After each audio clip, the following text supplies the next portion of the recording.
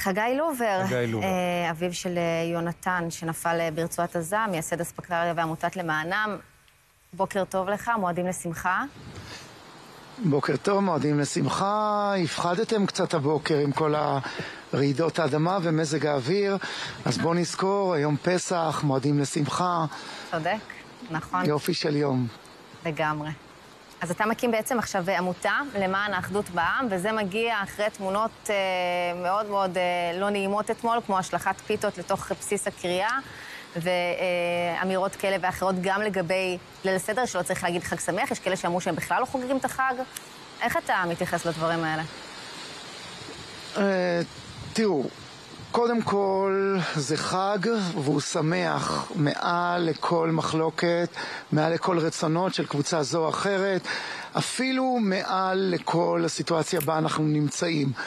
אה, יש כאב, זה לא צריך לספר לי, יש כאב, יש געגוע, אבל אה, אפשר להסתכל אה, במבט מעל ולראות שבסופו של דבר אנחנו מתקדמים ויש המון המון דברים והמון סיבות לסמוך עליהם ולכן אנחנו אומרים מועדים לשמחה. העמותה שהקמנו יחד עם עוד חברים זו עמותה שהמטרה שלה להזכיר לכולנו שהרוב המוחלט של העם לא זורק פיתות, הרוב המוחלט של העם לא מדבר דיבורים פוגעניים לא כלפי ליל הסדר, לא כלפי מנהיגות ולא כלפי אף אחד. רוב העם רוצה שלום, רוצה אחדות, רוצה ניצחון ולפעמים הקול השפוי הזה, כיוון שהוא לא נוקט באמצעים קיצוניים, אז הוא לא נשמע. אז אנחנו משמיעים אותו, אנחנו משמיעים אותו בעמידה בצמתים, אנחנו משמיעים אותו בשלטים שיש בכל מיני מקומות, שהמסר העיקרי הוא מסר של אחדות, לצד כל מיני לא תעשה, לא תחסום, לא תסרב פקודה, לא תקלל, לא תתעמת עם שוטרים. יש דברים מעשיים, אני בטוח, בלי שום ספק, שזה הקול של רוב העם, ולכן הוא צריך לבוא לידי ביטוי, כי לפעמים שהולכים בדרכים ורואים שלטים, חושבים שאנשים שיש להם כסף והם מעדדים מסרים קיצוניים, הם חזות הכל. לא, זה לא כך, זה רחוק מלהיות כך, ונכון שיש אנשים שיש להם יכולת, אני חושב שבשנים האחרונות, לפי המחקרים, הושקעו מאות מיליונים של שקלים בשלטים שקראו ל... איך לומר בעדינות, או לא לומר בעדינות, לשנאה. ואנחנו באמצעים דלים, ואנשים שנותנים עוד 50 שקל ועוד 100 ועוד אלף, אנחנו מציבים מול זה את רצונו של הרוב המוחלט של העם. אתה יודע, חגי, אחת הטרגדיות של התקופה הזאת היא שלקיצוניים יש יותר רייטינג.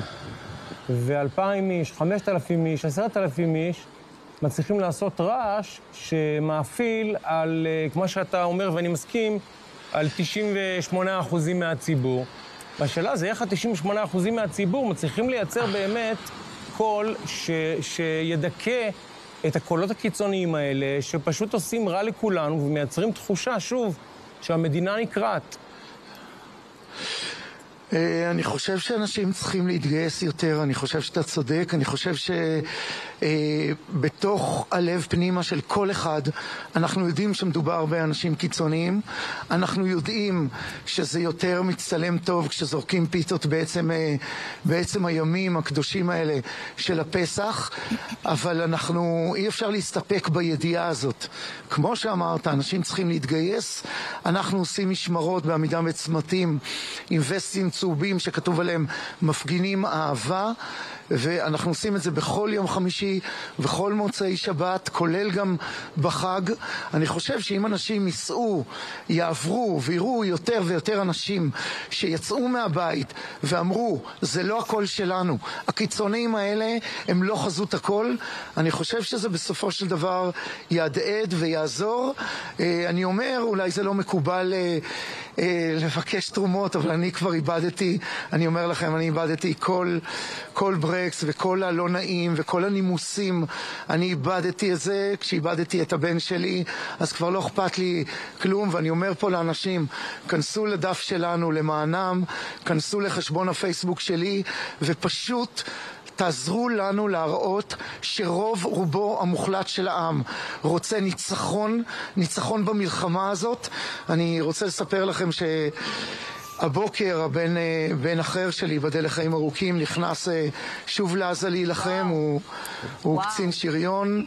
ואני חושב שאין לנו ברירה, אני חושב שזה זה רוב העם בכלל, זה, זה לא איזה משהו חגי, לא מיוחד שאני עושה, או המשפחה. קודם כל זה כן משהו מיוחד, אחרי מה שעברתם, לא היה לך קשה אה, לברך אותו לשלום רגע לפני הכניסה לעזה.